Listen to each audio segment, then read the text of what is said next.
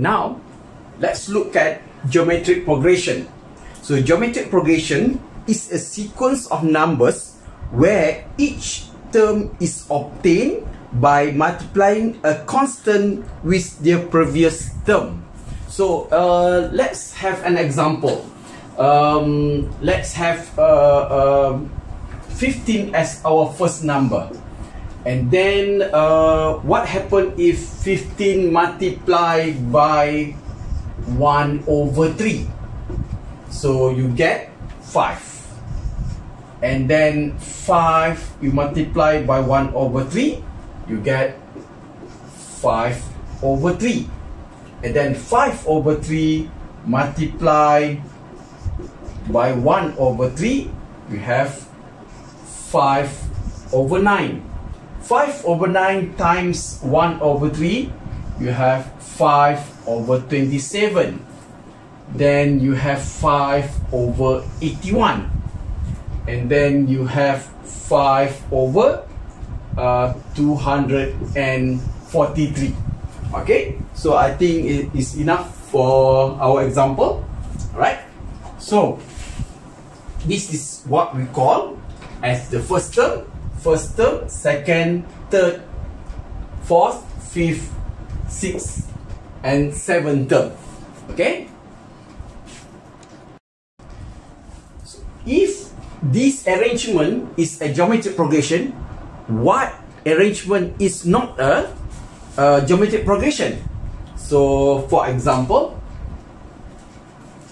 if we have 15 and then uh, you have 5 and then you have uh, negative 5 so this is not a geometric progression because this is 15 minus 10 you have 5 minus 10 you have negative 5 so this is actually an arithmetic progression. So what are not um, geometric geometric progression will be those arrangement which when you multiply for example you have to find what we call as ratio here. Ratio that is this first uh, second sorry the second divide by the first will be 5 over 15 which is 1 over 3 and this divide by this 5 over 81 divide by 5 over 27 so this one I do not know so I have to change to over 5 I cut here and I have 1 over 3 so any other any arrangement that will not result into common ratio is not called a geometric progression. So if this case is called geometric progression because 5 divided by 15 1 over 3 this one divided by this one will be 1 over 3 the fourth divided by the third one will be 1 over 3 and so on and so forth. So is this arrangement a geometric progression?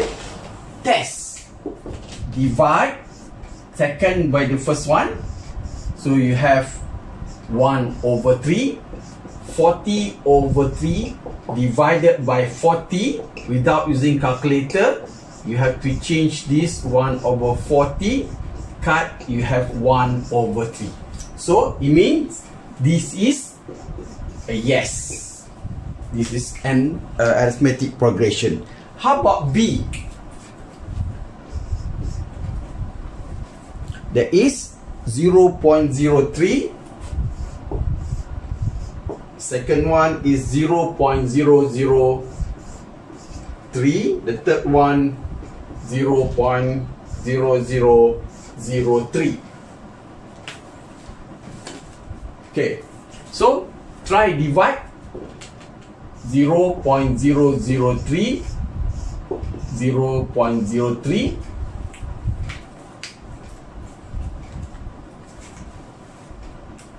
0.003 divided by 0.03 you have 0.1 0 0.1 1. So how about if this divide 0 0.0003 divide by 0 0.003 have 0 0.0003 divided by 0 0.003 so it is 0 0.1 so you can see we have common ratio of 0 0.1 so the answer for this one is yes also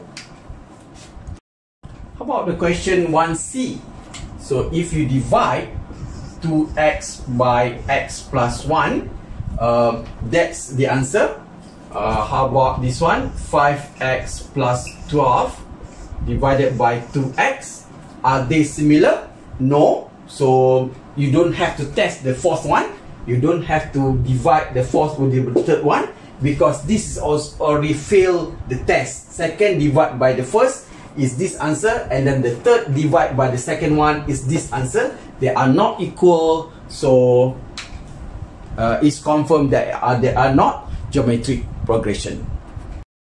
Okay let's continue with uh, number 2a so it says here that this is an uh, a geometric progression.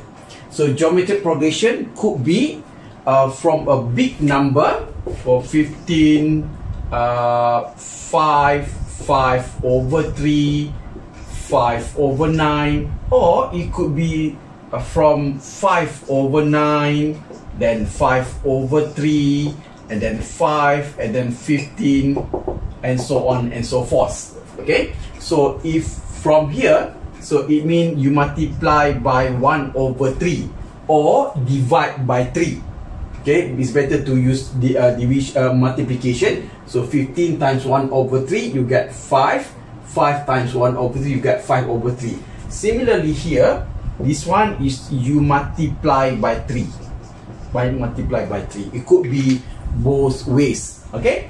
So uh, let's uh, look at the numbers that we have that we can solve. First is this 2 and then there is uh, empty space here 8 okay? So this one is smaller than this one. So what is the number that we can multiply?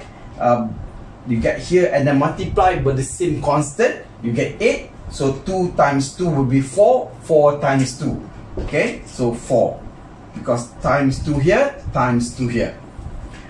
And then uh, how about this one? 1 times something that something times something then you get 4 so it should be 2 here. So because 1 times 2 2 times 2 you get 4 and then here will be you can start with 8 or you can start with 1 over 2 uh, it's easier from the uh, the the bigger number to the smaller number. So 8 uh, if you divide by 2 you get 4 4 divided by 2 you get 2 not 1 over 2 so you have to test so in this case let's try with divide by 4 8 divided by 4 you get 2 2 divided by 4 you get half. So it means you multiply by 1 over 4 so you get 2 then you multiply by 1 over 4 you you get 1 over 2 and then from here to here will be multiplied by by 4 so you get 32 because 32 times 1 over 4 you get 8 so either way you look at it as long as you can get the answer no problem. Okay uh, so for 2b um, the way is presented here. So I will start from here uh, from here I'll go to here. So 1 over 24, how to make it a 1 over 12? So if I were to multiply by 2, I multiply by 2, I can cut here and here. So in order from here to go to here, I multiply by 2. So I'll get 1 over 6. Okay, but then the arrangement here will be different.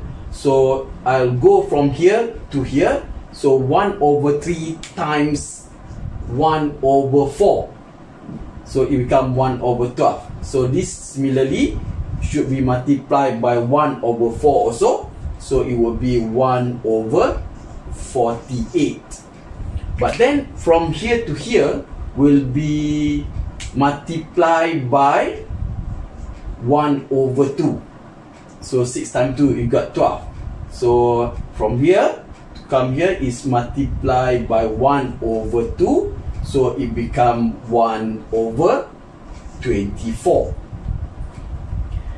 um, the last two should be from here for, from 1 over 48 you go to 1 over 24 how to do it? That is multiply by 2 then you can cut 2 and 48 then you get this one.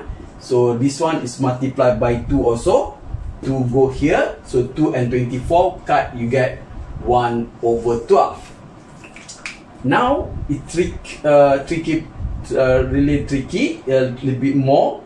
So 1 over 3 here then empty space and here is 1 over 12 if you multiply by 1 over 4 you get directly to here. But so from 1 over 3 to get to this box and then multiply by something to get 1 over 12 that is you multiply by 1 over 2 so you get 1 over 6 then 1 over 6 multiplied by 1 over 2 then become 1 over 12 okay? So actually uh, usually this type of question will not asking you to how to but just fill up the box.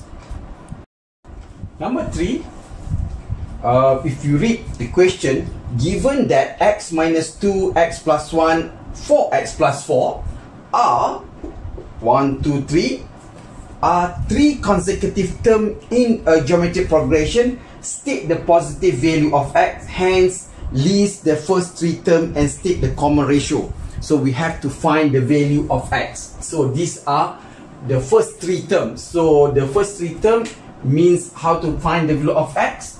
So x plus 1 the second divide by this first is equals to 4x plus 4 over x plus 1 um, how I know that we have to do that? So look at back to our example just now. That is we start with 15 and then we have 5 then we have 5 over 3 so if you divide 5 over 15 you get 1 over 3 5 over 3 divided by 5 you still get 5 uh, 1 over 3 the common ratio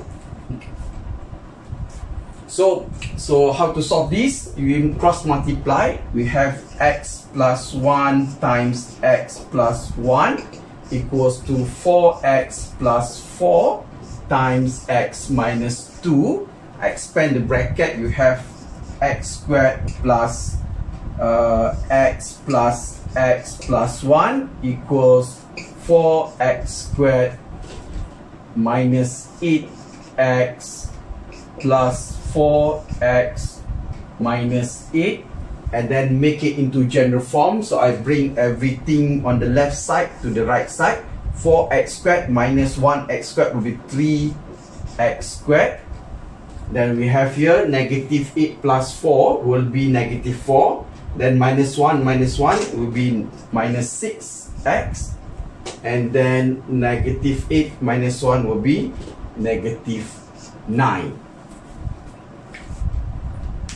okay so and then we can uh, solve using factorization. Using calculator that is EQN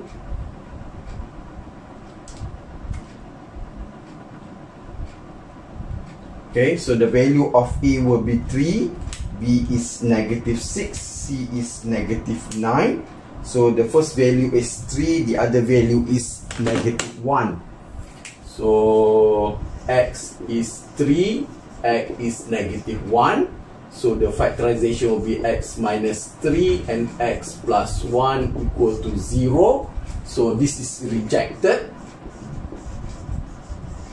because it says that uh, the value state the positive value of x. Okay? So the value of x will be 3 and then how to arrange? We just substitute. Okay? So the 3 minus 2 will be 1 3 plus 1 will be 4 4 times 3 plus 4 4 times 3 12 so 16 and then uh, what is common ratio? 4 over 1 which is 4 or 16 divided by 4 still 4 So common ratio is 4.